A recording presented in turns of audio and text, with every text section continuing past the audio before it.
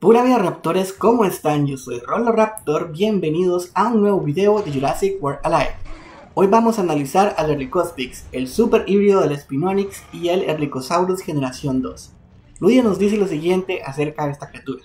Este híbrido ha demostrado ser muy sociable, ya que establecen zonas de anidación comunes y se acicalan entre ellos y otros cericinosaurios. En el ranking de mejores criaturas de GamePress está en la mejor categoría, Tyrant, y pertenece a la clase astuta. Sus estadísticas son las siguientes. Vida de 4200, ataque de 1500, velocidad de 128, blindaje de 0% y su probabilidad de crítico es del 20%. Sus movimientos son golpe de velocidad mínimo, distracción instantánea, impacto vengativo de distracción y salto preciso. Además cuenta con 100% de resistencia a reducción de crítico, sangrado y reducción de daño, y 67% a aturdimiento. Bien, ahora que conocemos un poco más acerca del Early Cosmix, tenemos que ver cómo luce en batalla ante las mejores criaturas del juego.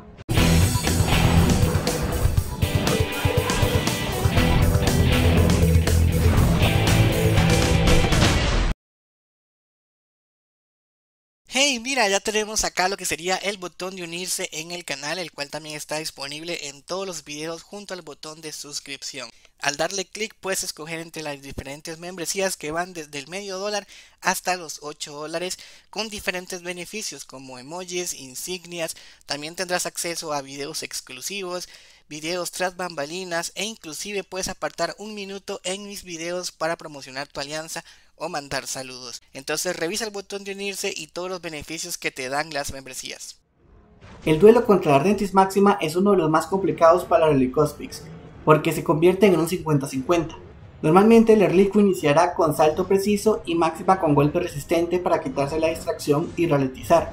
Después empieza el juego de adivinanzas, pues Erlico puede jugarse la carta de distracción instantánea y máxima la invencibilidad. Dependiendo de cuándo las usen, puede ganar uno o el otro. Contra el Gemini Titán, el Erlicospix es quien cae, debido al 50% de resistencia a la distracción del Gemini Titán y su ventaja de escudo, así que todos los caminos le llevan al Gemini Titán a la victoria. El Tricosaurus versus Erlicospix también es un 50-50, esto porque Trico siempre iniciará ralentizando a Erlicospix y el Erlicospix con su salto preciso. En el segundo turno, el Erlico está obligado a usar su distracción instantánea y para el tercer turno, Trico debe decidir si usar su invencibilidad o atacar. Si elige mal, pierde. La batalla contra el Diorrajasaur le depara una derrota inminente al Erlico. Los escudos y sus ataques resistentes aseguran una victoria en el 100% de los casos. El Trollodolosaur no es capaz de ganarle al Erlicospix, quedando distraído desde el primer turno, solo puede aspirar a bajarle un poco más de vida con su carga instantánea, pues aunque lo logre aturdir, perderá en el próximo turno. En un duelo contra el Magna Piritor, el Erlicospix tiene una victoria asegurada en dos turnos. Solo necesita usar su golpe de velocidad mínimo en el primer turno para aventajar la velocidad del Magna y acabarlo en el segundo turno. El Tenontorex se juega una ruleta rusa de 50-50. Si inicia ralentizando, dependerá de adivinar el siguiente movimiento del Erlico. El peligro de una distracción instantánea lo pondrá a pensar si usar devastación rompe defensas o golpe resistente. El Rino Tortugo tiene todas las de ganar ante el pollo. Las combinaciones pueden ser varias pero en todos los casos esas deparan una victoria al rinoceronte por su alto blindaje y sus movimientos antiastutos. Antes de continuar, déjame decirte que tanto en Discord como en Telegram tengo todas las fichas técnicas de los análisis que se presentan acá. Los links los encuentras en la descripción. Pero si además no quieres perderte de ningún otro análisis, recuerda suscribirte al canal y dejar un buen like como apoyo. La entelolania se hace con una victoria ante el Erlicospix. La tortuga solo necesita usar su impacto resistente dos veces para acabar con el Erlico, así que en tres turnos ganará. En la batalla contra el Quetzorion, el Erlicospix cae sin hacerle ni un solo rasguño. Colocando su invencibilidad larga, Quetzorion evita el daño durante dos turnos. Su contraataque anula cualquier intento de aventajar la velocidad, así que en tres turnos el Erlico cae sin poder hacer absolutamente nada. El Gripolis no tiene un camino donde le pueda ganar al Erlicospix, pues queda distraído en cada turno, así que no logra acumular el daño necesario para poder vencer al Erlico.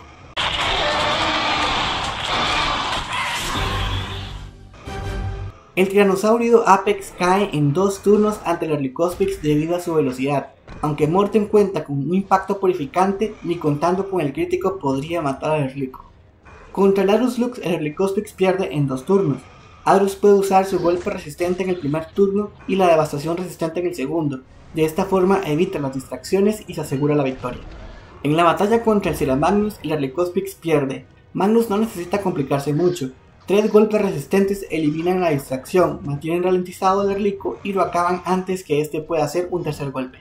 El Gorgo Trevax no tiene oportunidad ante el Erlicospix, el pollo es más rápido, así que si inicia con el golpe de velocidad mínimo, en el segundo turno solo tiene que usar su salto preciso para hacerse con la victoria.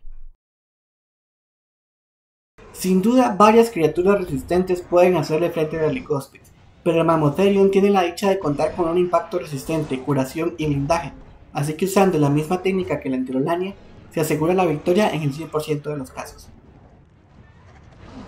Esta vez quiero saludar a Steven Lavado Torres, quien me pidió el saludo en el video anterior. Cuídate mucho, amigo.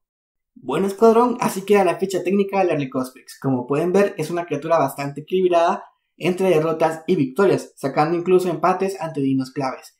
En cuanto a las mejoras, recomiendo al menos 16 mejoras de velocidad, 9 de daño y 5 de vida.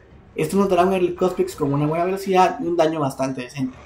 En la descripción del vídeo pueden encontrar los enlaces de mi grupo, redes sociales y especialmente la página de Facebook donde aparezco como Raptor. Recuerden suscribirse, dejar su like y compartir el video con sus amigos para que el escuadrón siga creciendo como hasta ahora. Solo me queda recordarles que para gustos hay dinosaurios.